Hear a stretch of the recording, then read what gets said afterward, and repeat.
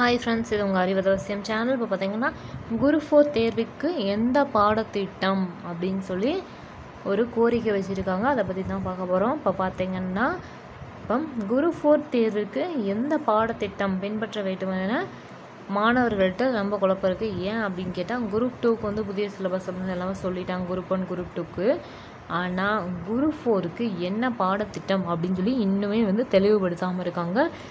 இப்போ என்ன சொல்லியிருந்தாங்க அப்படின்னு சொல்லி கேட்டால் இப்போ வந்து குரு ஃபோர் பழைய தேர்வு முறையில் பொது தமிழ் அல்லது பொது ஆங்கிலத்தில் ஒரு தாளும் பொது அறிவில் ஒரு தாள் என ரெண்டு தாள்கள் இருந்துச்சு.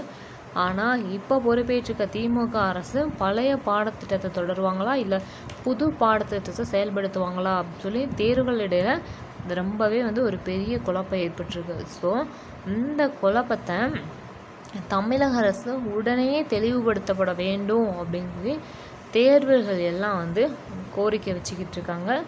ஸோ வேகமாக தேர்வுகள் வந்து நடைபெறாததுக்கான சான்சஸ் இருக்குது ஏன் அப்படின்னு கேட்டால் இப்போ டிஎன்பிஎஸ்சியிலையும் வந்து செயலாளர் இவங்களாம் வந்து மாற்றிட்டாங்க செயலாளர் உமா மகேஸ்வரி அவர்களையும் தே கட்டுப்பாட்டாளர்களால் ஒருத்தரையும் வந்து நியமிச்சிருக்காங்க. அவங்க பேர் என்னன்னு தெரியல தெரியலக்கு ஸோ நியமிச்சிருக்காங்க. அப்படி பார்த்தீங்கன்னா தேர்வுகள் வந்து ரொம்ப வேகமாக நடைபெறதுக்கான சான்சஸ் இருக்குது ஸோ நல்லா படிங்க. கண்டிப்பாக வந்து இதெல்லாம் பார்த்தோம்னா கண்டிப்பாக விட்டு போன தேர்வுகள் எல்லாம் விரைவில் நடைபெறதுக்கான சான்சஸ் ரொம்பவே அதிகமாக இருக்குது அது மட்டும் இல்லாமல் வேக்கன்சி இன்க்ரீஸ் அதிகமாக இருக்க சான்ஸ் இருக்குது ஸோ அது மட்டும் இல்லாமல் எஸ்பிஐக்கு உங்களுக்கு சிலபஸ் நடத்தணும் அப்படின்னா நம்ம சேனல் சப்ஸ்கிரைப் பண்ணுங்கள்